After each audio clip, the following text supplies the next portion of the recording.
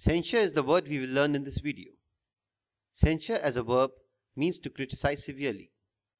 We will make money talk to learn this word. Cents sure to severely criticize dollar. Note how we can form the word and its meaning from this statement. Now let's see what cents have to say about the dollar.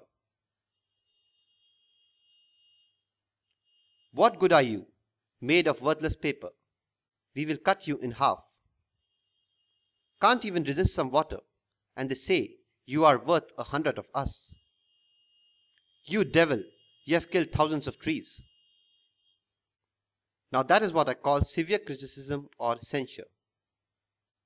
Learn the word and its meaning from the statement, Cents sure to severely criticize dollar. Thank you.